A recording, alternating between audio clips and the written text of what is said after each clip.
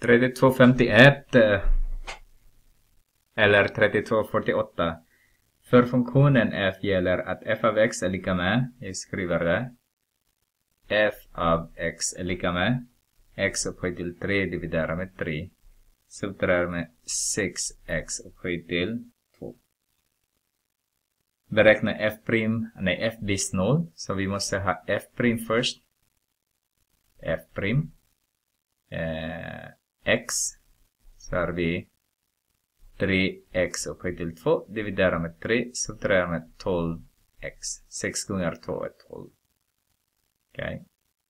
Då har vi f prim x är lika med x upphöjt till 2 subtraherar med 12x.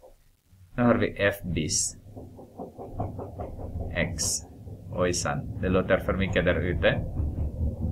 Så f bis är 2x subtraherar med 12.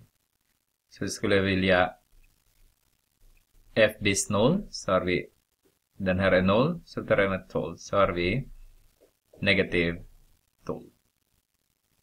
Vi tittar på B. Vi skulle lösa f prim. x är lika med 0. Det vill säga 2, aha. 2x minus 12 är lika med 0.